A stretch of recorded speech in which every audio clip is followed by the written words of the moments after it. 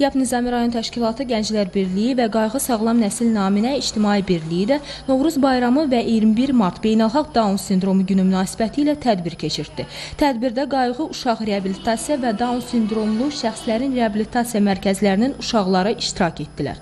YAP Nizami rayon təşkilatı Gənclər Birliyi və Qayğı Sağlam Nəsil naminə İctimai Birliyin sədri Sevinç Abdullayeva bildirdi ki, məhz ümumlider Heydər Əliyevin təşəbbüsü ilə 1969-cu ildən Bahar bayramı Azərbaycanda təntənə ilə qeyd olunur.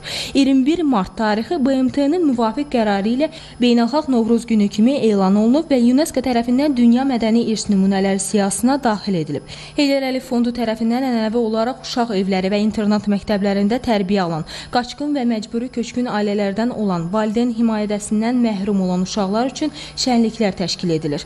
YAP Nizami rayon təşkilatının sədri, millət vəkili Sədaqət Vəliyeva Novruz bayramının dövlət səviyyəsində qeyd edilməsinin Ulu Öndər Heydər Əliyevin adı ilə bağlı olduğunu bildirdi.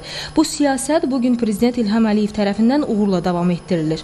Sonra qayğı uşaq reabilitasiya və Down sindromlu şəxslərin reabilitasiya mərkəzindən olan uşaqların ifasında rəqs nümunələri, şeirlər, musiqilər, Novruz adət-ənənələrindən bəhs edən səhnəciklər nümayiş olundu, hədiyyələr paylanıldı.